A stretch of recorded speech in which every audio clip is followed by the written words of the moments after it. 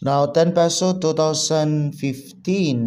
Maiba muna tayo. Dito muna tayo sa isang commemorative coin na 10 peso. So, 2015 itong barya natin. So, titingnan natin kung magkano yung mga selling value at saka value quotation sa ganitong klasing barya.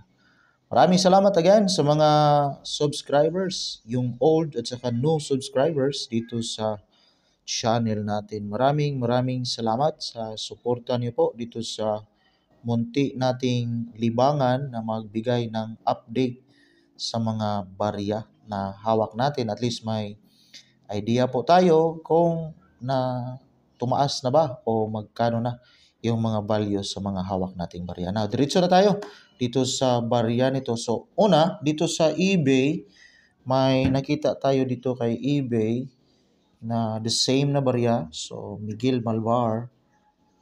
So, ito yung barya niya. So, 2015 commemorative coin. So, dito kay eBay, may mataas na selling value sa eBay. So, $2.99. Nasa 165 peso, 0.48. So, normal talaga na mataas si eBay at saka good quality yung barya sa seller natin. While dito kay Carousel PH, so dito may selling value 2 weeks ago by Shral Busi 69266, 230 pesos.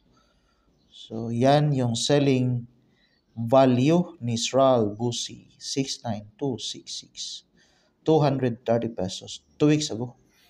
While dito kay indatnomista.com, 215, ito yung value coin appraisal. May 10 million yung dami na na-produce. Yung uncirculated niya is 130 pesos lang yung kaniyang value appraisal. Pinaka-lowest naman, 72. Yung very fine, extra fine, 72. 110 yung almost uncirculated.